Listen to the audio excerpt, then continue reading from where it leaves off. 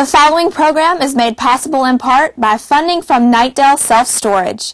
Secure, conveniently located residential and commercial storage.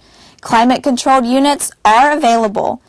We offer a video security system, an on-site manager, electronic gate access, and sizes to meet your needs. Long-term discounts are available. Visit our website at knightdaleselfstorage.com or call 266-0555.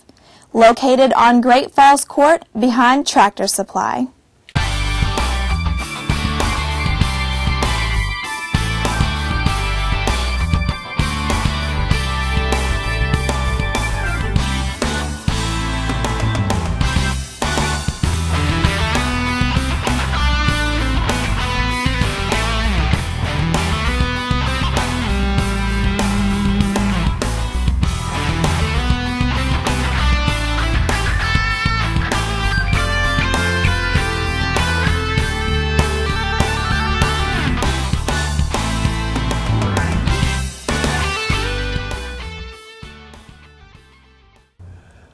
Hello, everybody. This is Billy Wilder, and uh, we've got a real interesting program today.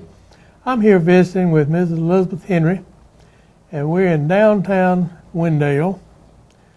Ms. Henry runs a antique shop here, but we're going to be talking about lots of things, and uh, it's just going to be a real pleasure to visit with her. She can go back uh, in her memory with a lot of things that's happened in Wendell over the years. Can Oh, you? yes, many, many. Now let's let's start. Uh, you were born here in Wendell, Yes, I was born in Wendell. and your dad uh, was Judge Bray. Yes.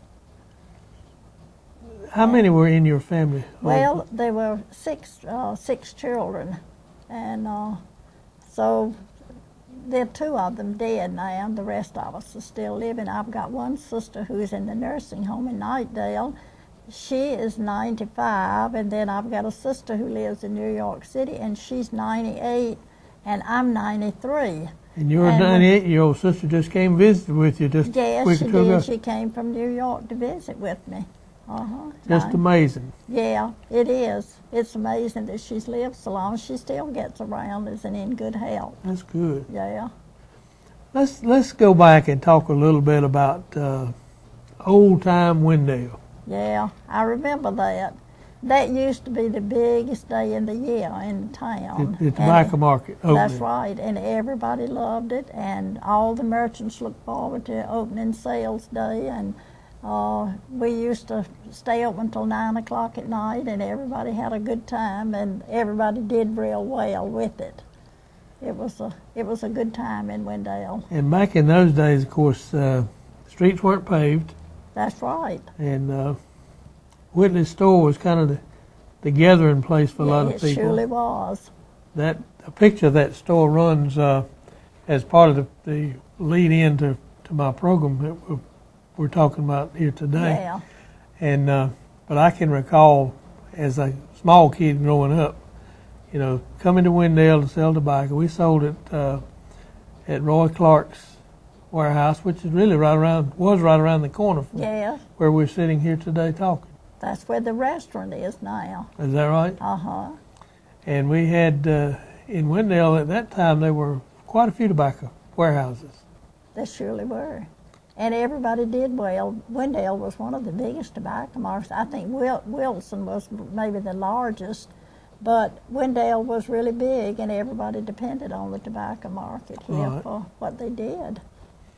You know, we were talking a little bit ago, uh, you I, about the uh, communications changes, and everybody now has a cell phone. And uh, you were telling me that uh, your family had probably the first phone in Wendell uh, a long time ago. Yeah. Tell me a little bit about that phone system Well, and we how much fun it was. We we were the only ones to have a telephone, and everybody in the neighborhood came to use it. And the only reason that we had the telephone was because Daddy was uh, uh, mayor of the town, and so the town allowed him to have a telephone. And our number was seven, and I never have forgotten that. And uh, we we really enjoyed using the telephone. did you and some others ever play around this, this telephone switchboard? Yes, we, when Miss Howard was a telephone operator here in town, uh, her daughter was a good friend of mine, Clara, and Miss Howard would want to go downtown once in a while, and so she'd let uh, Clara and me keep the telephone while she went away. Well, we would plug, if somebody would call, we'd plug in and hear what they had to say. We'd have to be real quiet. Somebody would know, wouldn't know that we were on the telephone. But we had a good time with that.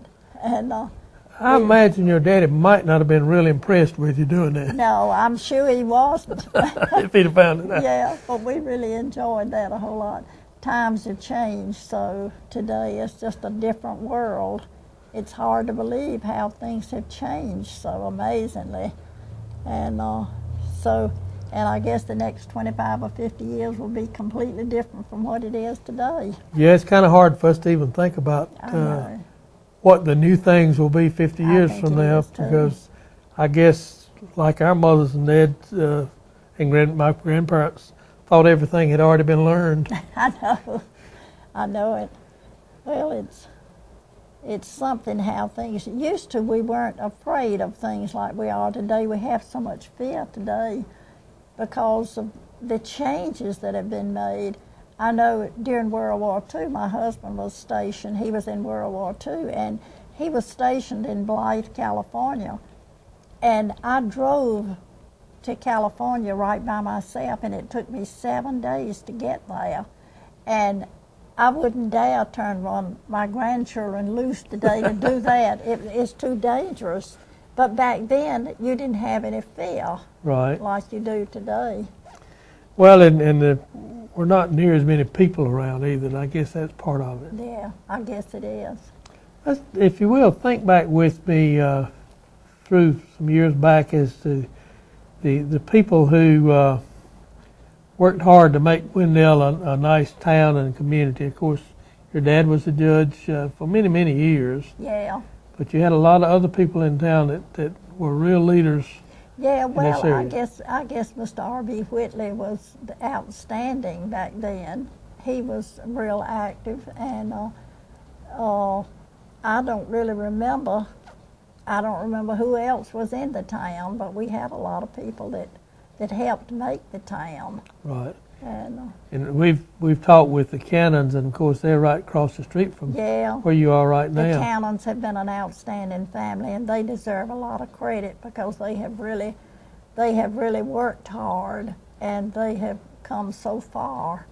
And it's, it's hard to believe that somebody came over to this country and really didn't have anything I know, and have, have done as have done as well as Mr. Cannon did with his business and, and of course the family carries it on now. that's the truth. And I think Jeanette has, uh, of course, Rose was a sister, and Farris was the oldest one, I believe he was. And they did well with it. And Farris ended up with a store in Franklinton. Right. And uh, but they started, and then when Jeanette came back here, I think Jeanette just kind of took charge of things, and she really made the store what it is today. And it, it's really been an outstanding event for our town. It's one of the one of the few small towns that I know of that has an outstanding clothing store that brings people in from all over everywhere to, to shop here in Yeah, in yeah, small Wendell, and, and these are people from big towns. I know it. I know so often people will call and ask where we're lo- located in Wendell, and we'll say, "Well, do you know anything about Wendell?" And they'll say, "Well, no." And say, "Well, do you know where Cannons is?" They'll say, "Yes." Well, we're right across the street from because everybody knows where Cannons is. They've really had a wonderful reputation. They have. They have good clothes, and and they they have people coming from everywhere to buy from them. Let's talk a little bit about your antique business. How, how long have you been in business I as you started in I started in the early 40s. I don't remember exactly when it was, but right in the beginning of 1940. And the way I got into that, my husband was in the army, and uh, I had a sister who lived in Norwich, Connecticut, And so I decided I'd go up there and spend a month with her. And so I went, and she had three small children, and she couldn't get out a whole lot like I could. So she lived close to downtown in Norwich, and so I got to rambling around up there and ran into places that had one store must have had two or three hundred marble top tables. Well, I thought that was the prettiest furniture I had ever laid my eyes on. And so I enjoyed going there, and I bought two or three little things. I bought one chocolate set that I was so proud of, and I brought that home. Well, all of my friends said, Oh, I wish you had bought something for me. And I thought, well, that gave me an idea. Maybe I should get in business and go up there and buy something to sell to them. And so I used to drive, I'd take the seats out of the automobile and drive up to Rhode Island and Massachusetts. And of course, I had never been out of Wake County, and how on earth I ever got nerve enough to do that, I don't know. But anyway, that was how I got started. Right. Now, have you been in this store location a long time?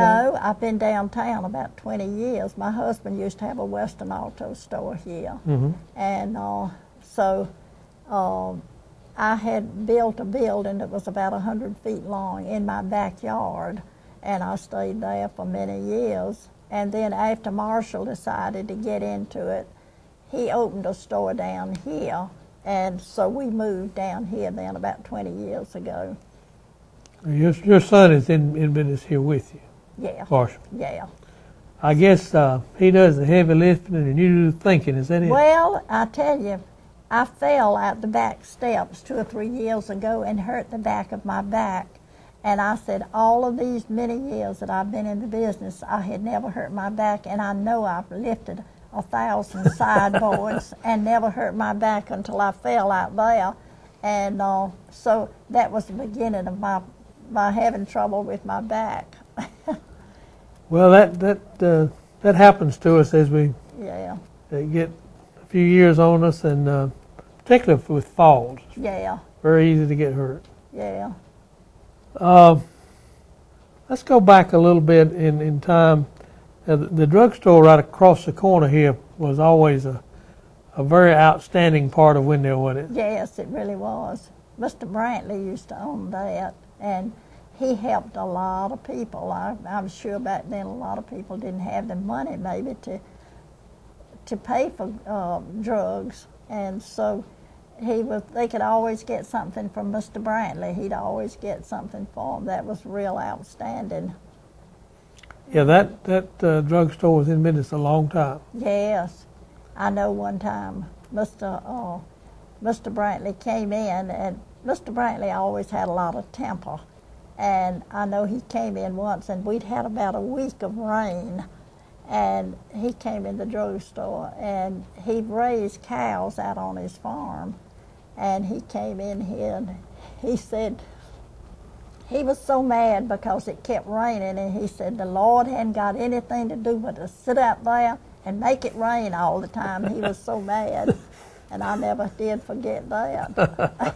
I bet not.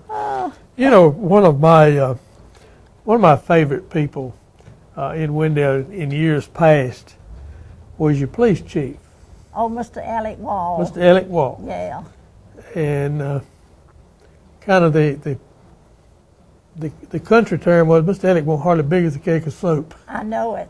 He was a small man. uh, but he had very little problems. Yeah, I know it. Well, everybody loved Mr. Wall. He was really outstanding in the town. And he, uh, you know, we talked about uh, opening their tobacco uh, markets and those kind of things, and and as uh, even as things go today, a few of the farmers uh, would come in and, and maybe get a little bit spirited, might have brought some spirits with them, Yeah, probably did. but uh, Mr. Alex seemed to be able to keep them straight. Yeah. Mr. Wall was really outstanding in the town. Everybody loved Mr. Wall. He was he was police chief here for many many Oh, years. I have no many idea how long. I don't know either, But, but, it uh, was a long, long time. I remember it was because uh, he had family in Knightdale, and, and I knew who he was. And I remember that he was police chief here all the time I was a kid growing up. Yeah, Uh, he was the whole time that I was young too. I remember that he was police chief here, Mhm. and everybody just thought that Mr. Wall practically ran the town, and he did. well, he, he kind of called the shots as what was right and wrong. Yeah, he really did. And if they were wrong, your daddy uh, was the judge that convinced Yeah. them that that wasn't the thing to do. Was. I'm sure he did. Uh, Bridges Coal and Oil. It's been here in Wendell a long time. The Bridges Yes. Coal. Yes, they spent. Mr. A.O. Bridges was the father, and I guess he was the one. He started. I mean, I just remember as a child that he had it, and uh, he ran that place for a long, long time. And then Shelton, his son, uh, worked with him, and Shelton, of course, owns it now. But that's an old establishment. They've been in business a long time. And back then, they sold an awful lot of coal, didn't they? Yes, they surely did. That's about all we knew was to burn coal. That's what we grew up with was burning coal. Coal stove. Yeah. How about the uh, the changes that you've seen in foods over the years? In food. Yes, ma'am. Well, Used to be all at home. yeah. We used to can what we had, and uh, it was. It's been a big change in that. Everything has changed so that it's just nothing like it used to be. Now your your home place is up there on uh, what I call the main Yes, street. It's uh-huh. not Main yes, Street, I guess. I decided about three years ago that I would move. We had a house back of the drugstore that we owned, and we had rented it. And so I decided that I was old enough that I needed to be all on one floor. And so I moved down there. It be will be three years in August, and uh, so of course I put my house on the market to sell. But it's just like property just isn't selling now, so it, it still is for sale. Well, you know, one of the things that, that I have always been impressed with is the ornateness of the, the decorations on that house. Yeah, and, and several other houses in town that were built along that same Yeah. time. But, uh, you know, there's no way that many people could afford to build that kind of house anymore no, I know it. because there's enough ornamental woodwork on there to, to uh, actually be equal to the price of most houses now. That is the truth. Well, I thought I wouldn't have any trouble selling it, but I guess I just I've had a lot of interest in it, but still nobody has been interested in buying it. And I guess it probably won't sell in my lifetime.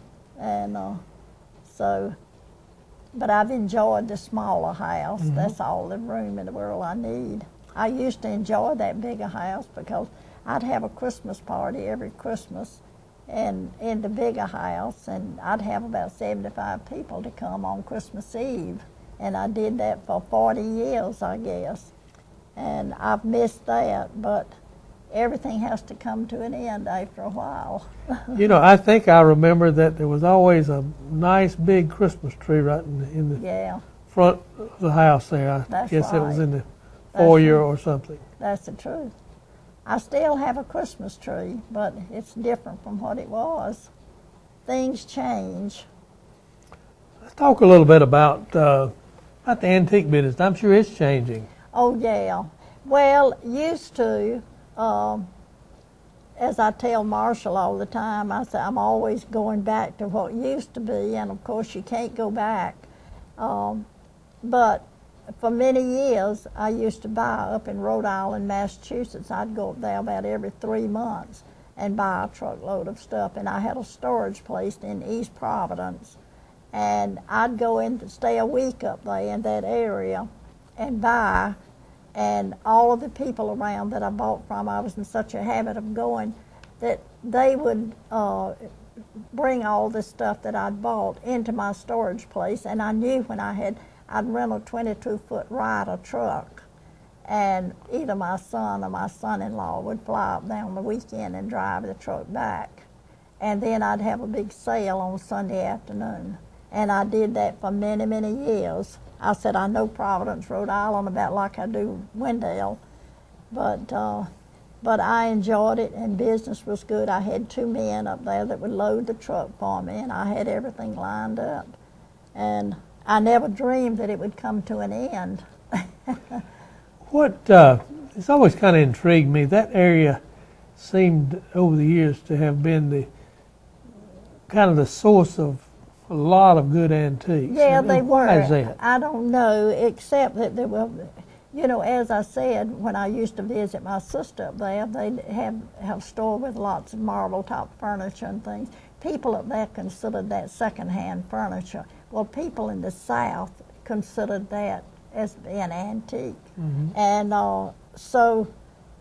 I, I, that that country up there is so much older, and they had things before we had them down here, and so I used to go up there. And there was one man that um, was up in the edge of New Hampshire, and he he had been in the oil business, but he went out of the oil business and got in the antique business.